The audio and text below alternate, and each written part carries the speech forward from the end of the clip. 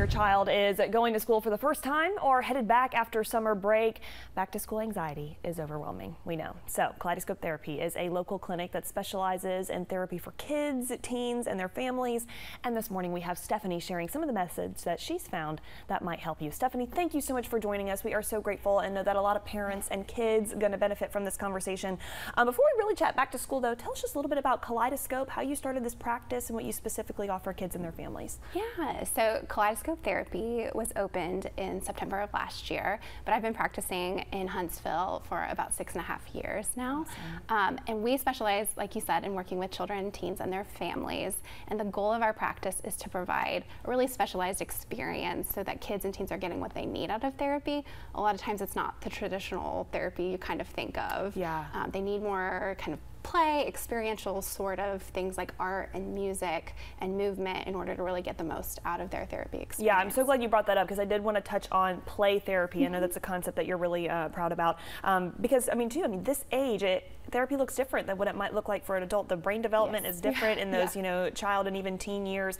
Um, so kind of walk me through some more of the practices that you specifically developed for these age groups. Yeah, so play therapy, the idea is especially for younger children, they don't have the verbal skills yet to fully articulate what they're feeling, what their experiences are. They may have some words for that, but they need other ways of expressing themselves. So in play therapy, we have different ways of going about it. We might, for younger children, um, we have a, a, specific play therapy room where we go and oh. there's toys that are specially picked for them that, um, so that they can choose and direct um, the play and express themselves that way. For older kids, we'll use some more directive techniques. We might use games or, again, like I said, movement to get them more engaged and more comfortable with sharing about what's going on and, and support them in their goals in therapy. Yeah, wonderful that it's a really curated experience for each child. Yeah. So, Stephanie, thank you so much for bringing that kind of practice here um, to our area. Uh, let's talk now back to school specifically. I feel like that's a whole other realm in and of itself. Yes. Whether you have a little child or a preteen taking on middle school, whatever it might be, those are formative years. Uh, any words of wisdom you can share with parents who might have kids who are particularly struggling right now? Yeah, so I always tell parents the name of the game before school is preparation. So especially if you have a child who's feeling a little bit nervous about going back to school or is maybe going to school for the first time, we want to do as much prep work and conversation beforehand. Luckily, a lot of our local schools have a lot of opportunities to get into the school building before school even gets started. Oh, wonderful. Okay. Um, whether that's a private tour of the school or going to meet the teacher or going to orientation, there's lots of opportunities for getting into the school and being able um, to get more familiar with the setting, to ask the specific questions they might have.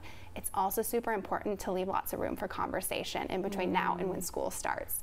Um, it might be kind of frustrating at times because you might get repetitive questions about sure. things, but it's important for kids to have that opportunity to ask those questions over and over and mm over mm-hmm. again. It's how their brain organizes it and makes sense of it to help make the anxiety feel less overwhelming and be able to kind of feel more confident going into yeah, that first day of school. Very much so. Kind of just again creating that safe space for your child to talk. With that though, Stephanie, I do kind of want to ask you a question. I think sometimes parents, um, you know, they want to create this open space where we're learning more. I think especially in recent years, you know, letting yes, your child yes. feel the emotions that he or she may need to feel. Mm-hmm. Um, at what point, though, do we kind of have to be like, okay, like, come on now, you know, we're going to go to school. You know, I think there's kind of this balance of like, you know, I kind of grew up in a, a, mindset of like, put your big girl pants on, we're going to go, we're going to have a sure. good day. You know, you yeah. smile if you're crying, like, we're going to feel better, but then also, you know, still kind of feeling what you need to feel. How do you kind of find that balance? And maybe too, at what point do we need to seek help from something again like Kaleidoscope? Absolutely. So with anxiety, there is always just that